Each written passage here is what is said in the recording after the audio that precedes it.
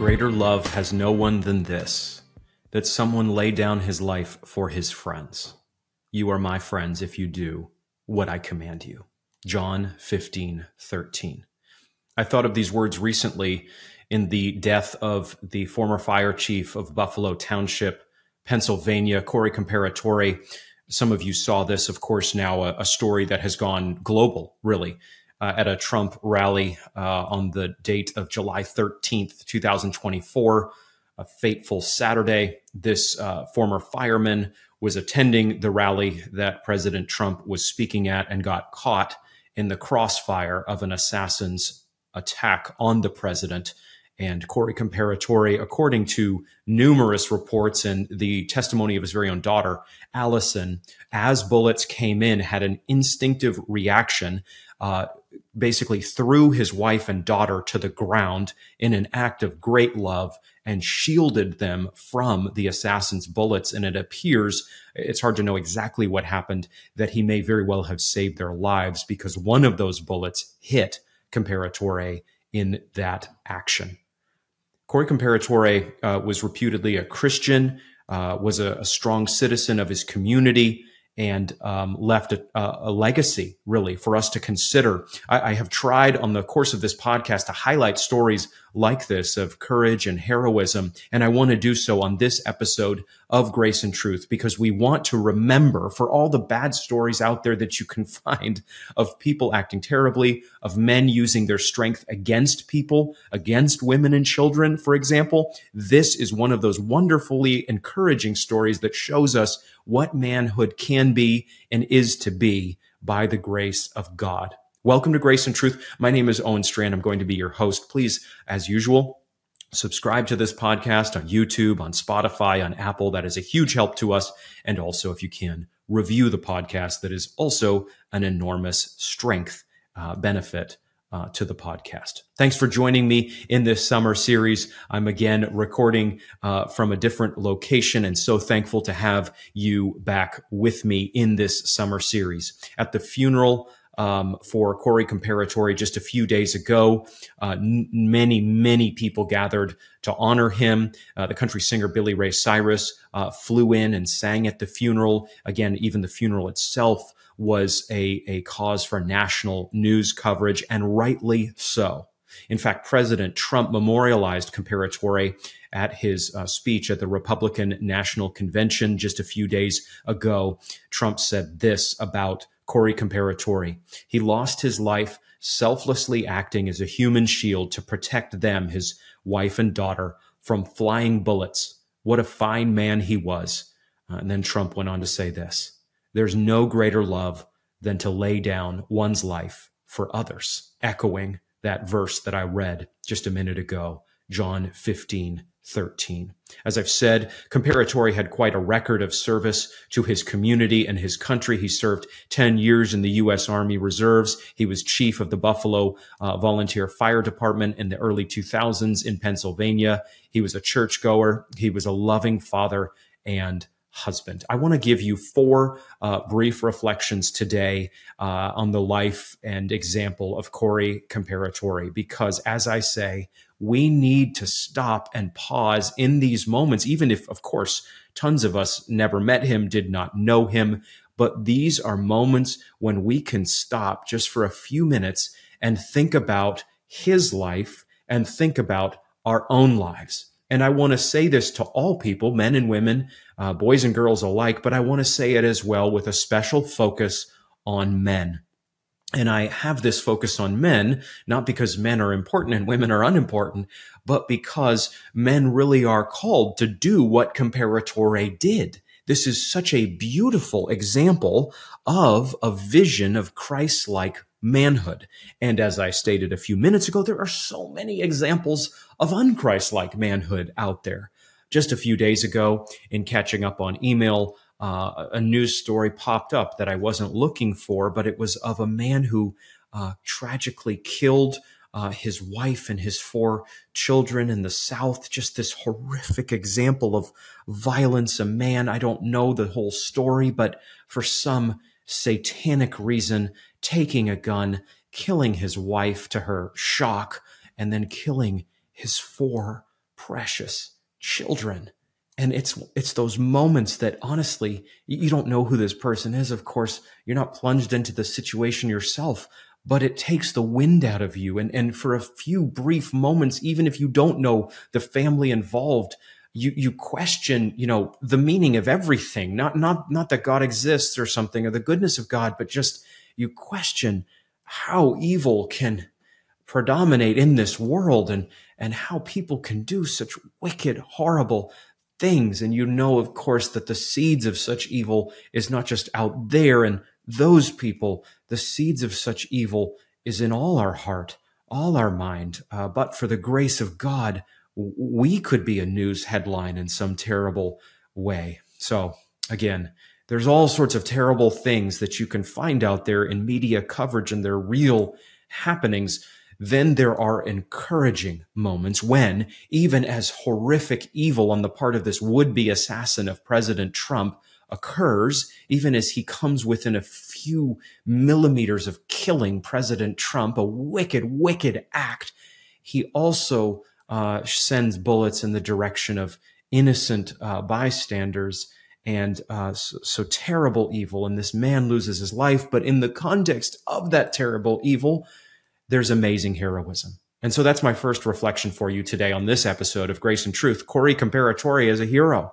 Economists warn that massive tax hikes could devastate your IRA and 401k account as the stock market braces for impact. With inflation on the rise and global uncertainty looming, it's clear why central banks and savvy Americans are turning to gold. If you haven't had your eye on gold, time to make it a priority. Hi, my name is Owen Strachan, and I urge you to call my friends at Priority Gold to find out how they can help you diversify your savings with physical gold and silver. Call 1-800-405-GOLD or visit prioritygold.com slash golden for a free gold info guide. Plus, see if you qualify for free shipping and storage. Experts agree that physical gold is one of the best ways to fortify your savings no matter the economic climate. Act now to get your portfolio working for you while the market is golden. Call 1-800-405-GOLD to speak with a gold specialist or visit prioritygold.com slash golden to learn more. That's 1-800-405-GOLD. He's a hero who gave his life uh, in order to protect his wife and daughter. He gives us then a common grace picture of what Jesus did in dying on the cross for his people. Jesus died on the cross to protect and ransom and rescue us. Jesus died on the cross about 2000 years ago so that you and I would not taste the Father's just wrath against our sin, but would know only the total forgiveness and everlasting covenant love of God the Father. Corey Comperatore didn't didn't die for anyone's sins, didn't wash anyone clean, didn't take the Father's wrath when he took the assassin's bullet in Butler, Pennsylvania. But he does give us a little picture of the death of Jesus for others. He shows us, that is, what it means to be selfless and self sacrificial in order that his wife, literally his wife, uh, would live and his daughter, his precious Allison, would live as well. So I know the postmodernists have tried to take uh, the categories of um, evildoer and hero from us. I know one movie after another, for example, has complicated those categories and shown us that there really aren't heroes out there, that everyone's, you know, equally an evildoer. And we want to be clear, of course, that Jesus is the only true hero, but we also can't lose the reality that there is goodness in the world and wickedness in the world. And there are those who act heroically in the world and those who act evilly in the world. And Thomas Crooks, the would be assassin of President Trump, who killed, it appears, Corey Comperatore, is an evil doer, even as we know that Thomas Crooks has met his maker already, and there is no opportunity for him to repent of his sins we know that justice is right, but we pray that others will, from this tragic event, know the grace and mercy of Jesus Christ. Corey Comperatore died so that his wife and his daughter could live in this uh, natural sense, this temporal sense. And again, for that, he's a hero.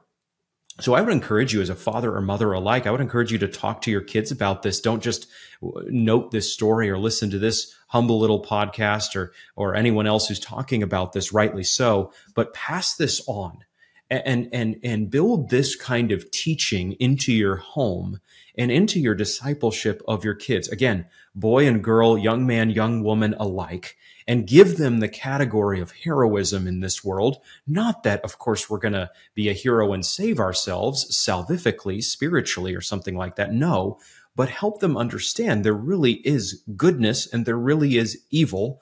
And even outside of this story, there are people who are not believers who act heroically and there are people who act evilly. So we, we want our kids to have these categories and tragic events like this uh, give us a context for discussing these kind of situations and principles. Second uh, reflection to offer you in this episode the Bible has a category for this kind of sacrifice, even in the temporal sense, just the natural sense. Think of what Romans 5 6 to 8 uh, teaches us. Uh, the Apostle Paul writes this For while we were still weak, at the right time, Christ died for the ungodly. For one will scarcely die for a righteous person, though perhaps for a good person one would dare even to die. But God shows his love for us in that while we were still sinners, Christ died for us. The point is this the Apostle Paul discusses laying down your life for others and has a category for, in verse 7, Romans 5 7, a good person daring even to die. So, so again, in a common grace sense, outside of the Christian church, that is, people do act selflessly and heroically for others. And the Bible itself, the apostle Paul himself understands that this happens in the world, but, but there is no spiritual uh, redemption that occurs, of course, when someone dies for another, even as that act is a, a good act uh, only the death of Jesus Christ can redeem sinners like you and me, which, which again focuses our attention uh, not ultimately on Corey Comperatore or someone who acts uh, heroically as he did, but points us to the much, much greater sacrifice of King Jesus, who left glory, who left heaven, who left communion with the Father and the Holy Spirit and came to this earth, communion in the heavenly sense, it endured on earth and then lived a perfectly righteous life and then died in the ultimate act, the, the atoning act of passive righteousness on the cross for sinners. So even as we're thinking about Comperatore's sacrifice, our eyes really should go up towards Christ's sacrifice and understand just how great then the love of God is for sinners like us, that Jesus stepped in for us. Jesus died in our place. Jesus took the just wrath of the Father. These are wonderful moments, then, horrific as they are, where we can point people to the reality of redemption and say, you're innately, instinctively moved by this fireman's sacrifice for his wife and his daughter. It's totally right that you would be deeply moved, cut to your core by this true story of Corey Comperatore's death for others. Let me tell you, though, about a much greater act of self sacrifice that Jesus Christ uh, did in order that sinners like you and me would live. And that is a wonderful way both to honor a fallen man like Comperatore, but ultimately to point things upward to the sacrifice of Christ, the saving sacrifice, the atoning sacrifice, the propitiatory sacrifice of Jesus. Third reflection on this tragic event. It reminds us that heroes are not altogether gone in this era. It can sometimes feel to you and me like there are no heroes left, like there are no uh, good men, like there is no uh, light in our world that endures. But what I want you to hear in this, uh, on this occasion, is that that is not true. So we should be realists as Christians. We should know that the days are evil. We should know that men are struggling. I wrote a whole book on that called The War on Men, which is not just about the struggles of men, but is actually more about how men can find hope and transformation and healing and growth in the gospel of Jesus Christ. But I'm honest in, in my writing and in this podcast. I'm honest in The War on Men, this book I recently published about how men aren't doing well. And so we've got to be clear. We've got to be honest. There are a lot of men who aren't stepping up. There are a lot of men who aren't uh, leading their family. There are a lot of men who aren't, by the grace of God, pressing in to know Christ and, and build a godly life. Um, there are a lot of young men who are struggling tremendously to to mature and grow up and and not devote themselves to childish things. We have an epidemic of of this uh, today. We have a generation of young men, not every young man, of course, but a lot of young men who are just adrift and struggling and and don't know what to do and and don't even know how to get started in life. And what we want to say is, is not that we hate those young men. Not, we don't, we don't want to cancel those young men. Um, we, we don't want to teach those young men that they have messed things up and there's no way back for them. We want to help young men understand that there is a way back.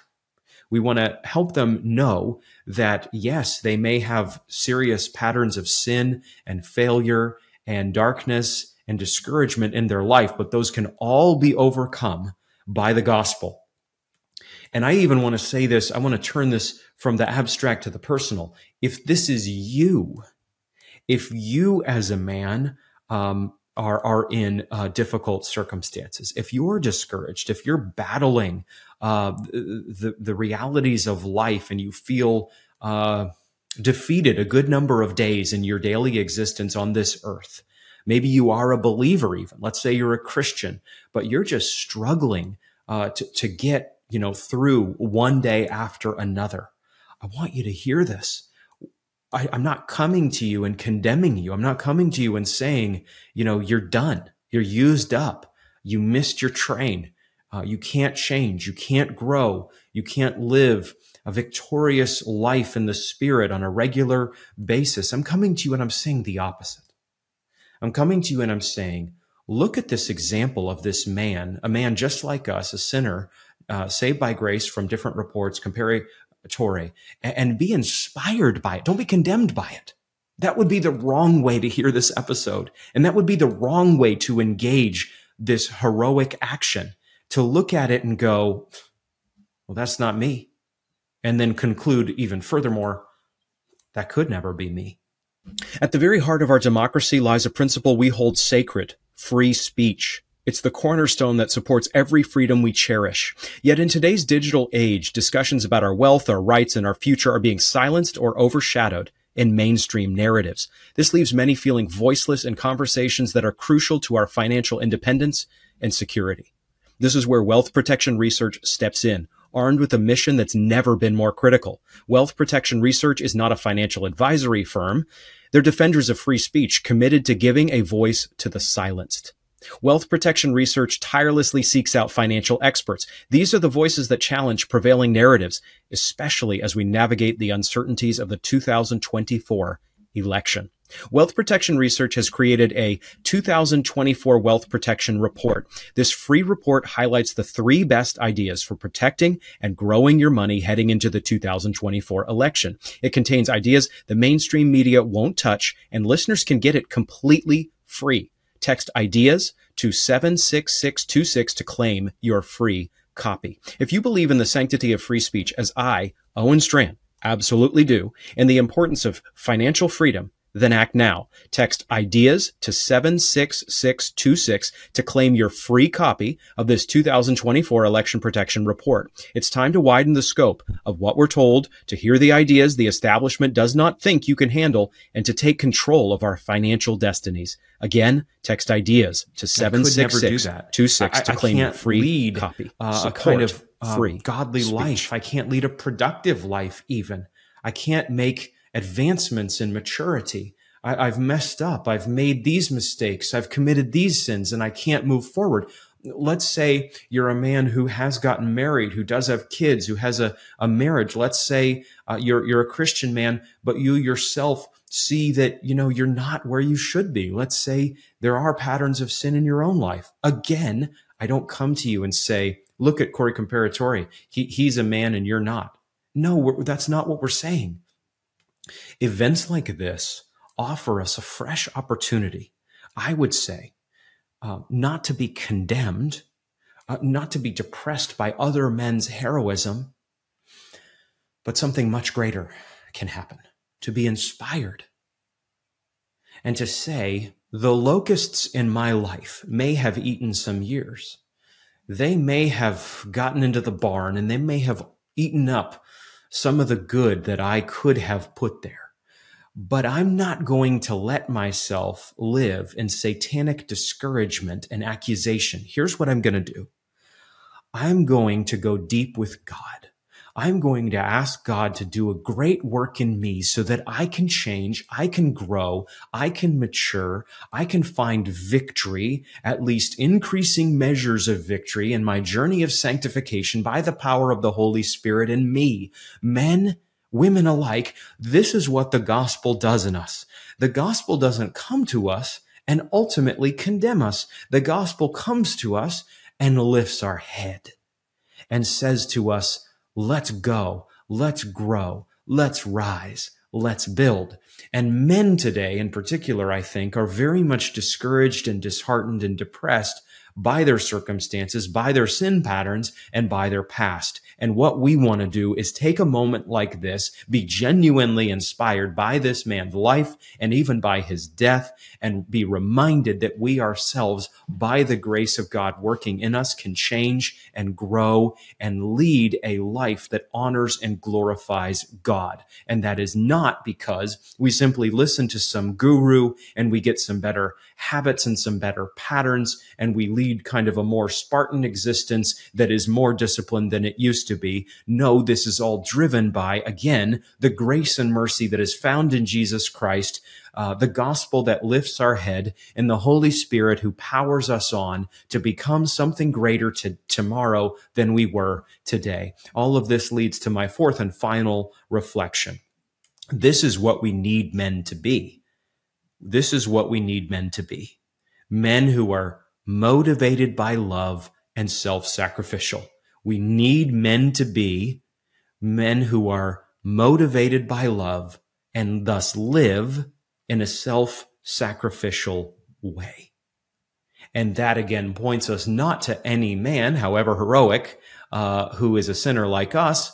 That points us again to the image of Jesus Christ, Jesus who laid down his life, Ephesians 5, 22 to 33, for his bride, who literally died for sinners. And that's the kind of man we want to be shaped to be. And that again puts us back in discussions we've engaged already on this podcast, discussions of what male leadership looks like and what headship looks like in the home and in the church. And there is an attempted recovery on the part of many young men today where they say, I've been raised in an egalitarian context or a feminist influence feminist influence context in the home or in the church. I don't want that. I want to be a, a, leader as a man. I want to be a strong man according to scripture. And that can be a very good desire. But if you are not calibrated by the scripture, if you're calibrated by red pill manhood podcast manhood or secular manhood, even secular strong manhood, then you can end up off the rails. In fact, you can be raised in one ditch and you can leap right into the other. And you can end up thinking that your job as a strong man is to dominate women or rule women or something like this when that is not your God given calling whatever leadership you are called to exercise as a man in the context of marriage and the church and, and whatever that looks like in society. Your leadership is to look like self sacrificial, Christ like headship. So, for example, as the head of a woman, the head of a wife, yes, you have genuine leadership and genuine authority, even, but take note that is always conditioned by the image of Jesus Christ. You're always seeking then to live a life of loving leadership. This is not cold leadership. This is not cold headship. This is not cold eldership in the local church. This is always warm leadership, very warm leadership. The kind of leadership that seeks the good of women, the kind of leadership that seeks the good of children. Again, as we see in this example of Corey Comperatore shielding his wife and his daughter from an assassin's bullet. But here's the thing. You don't just do that one day. That doesn't just pop up one day. That, at least in many cases, is the result of a long trajectory in that direction. In other words, we want to raise our boys to be Christ-like men, to be self-sacrificial men over the long haul. We don't just, you know, have boys, give them no basic instruction in these kind of realities, not talk to them about what Christian leadership looks like. And then when they're 19 or 20 or 21, expect them to suddenly arise as heroes in difficult moments. You, you don't form heroes out of thin air. Now, God is the one who forms them, of course, ultimately, but we train young men into these kind of roles. We help young men understand, yes, you're called by God to be strong, genuinely in biblical terms, but a strong man is a man who lives in love and acts in strength out of love.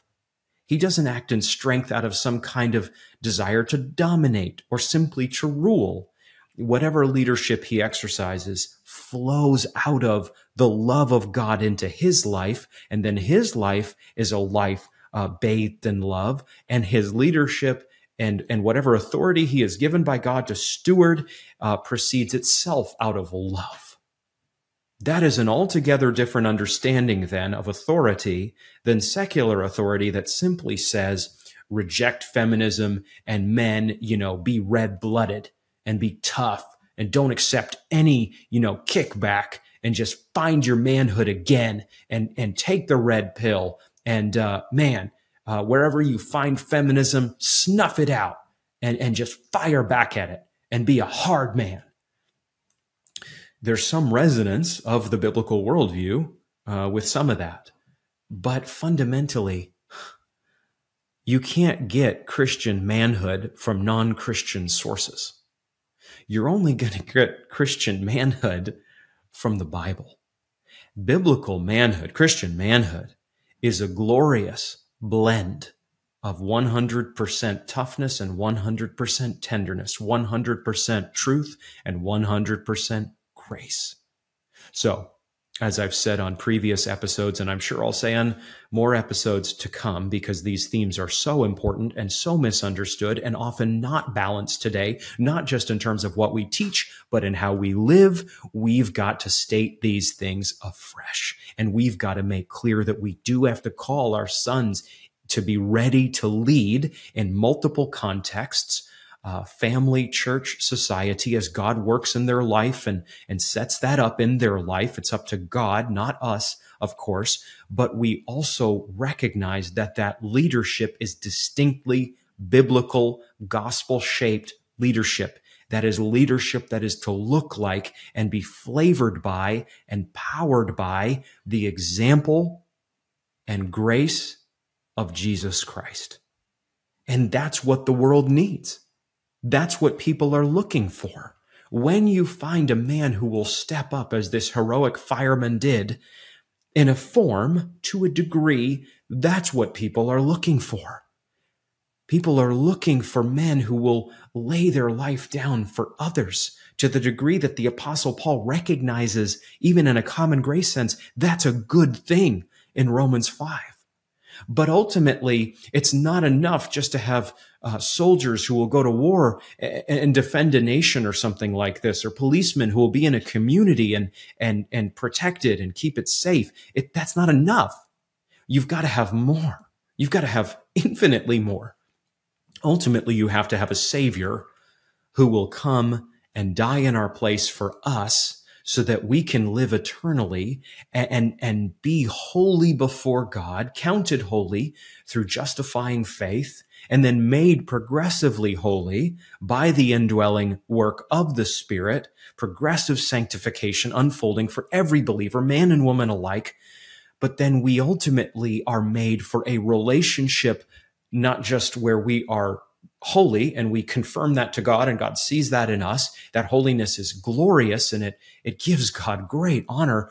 But actually, we're made for loving relationship with God. We're made by God out of love so that God can love us. And then we are made so that we can love God. Our Christian life is not cold or static then. Our Christian life is warm and dynamic in that biblical sense. That's what we're made for. So the kind of men who are most going to love others are men who know the love of God and have been transformed by the love of God. And that love of God God has woken them up in every category of their life so that now they want to live and love. But love doesn't mean being squishy and unconvictional and never taking a stand and never stepping up. Biblical love on this earth at its apex means men being strong for others when applied to men. It looks like men laying down their life for others. Greater love has no one than this a man laying down his life for his friends. That's how Jesus phrases it in John 15, 13. You can't find greater love than someone laying down his life for his friends. And that doesn't point us to you and me, man or woman alike, because women, of course, can do this as well. That points us at the peak to Jesus Christ. So every day, in conclusion, for the Christian is a day when we celebrate the ultimate hero. We celebrate the true Savior, Jesus Christ. Every single day is a day purchased for us by the death of Christ on our behalf. Every day is a fresh opportunity by the power of God in us to live for the glory of God. Every single day, then, to the unbeliever, hopefully, unbelievers hearing my voice on this humble podcast is a day for that unbeliever, not just to aspire to slightly better living, slightly more courage or something like this, but every day is a fresh opportunity that God gives unbelievers to repent of their sin and know the transforming grace and love that he gives sinners through Jesus Christ. So every day is a fresh day. Let us number our days. The days of Corey Comperatore on this earth are sadly ended. They're over. That will be true for all of us. Here is the question I leave you with. How are we going to live out these days? What are we going to do with the hours God would give us? Man or woman alike, how, by the Spirit's power, can we sow and reap for God? How can we give God glory? How can we grow? How can we mature by the grace of God to the glory of God? And a final word for men whatever your present and your past looks like. How can the grace and mercy of God get hold of you, Christian or unchristian alike, and change you and grow you and transform you so that you either become a Christian or you grow as a Christian and give God great glory. Every day is a day you and I can live with this on our mind. Greater love has no one than this, that someone lay down his life for his friends. Jesus has done that however we can out of the overflow of what Jesus has done. Let us do that. God bless you.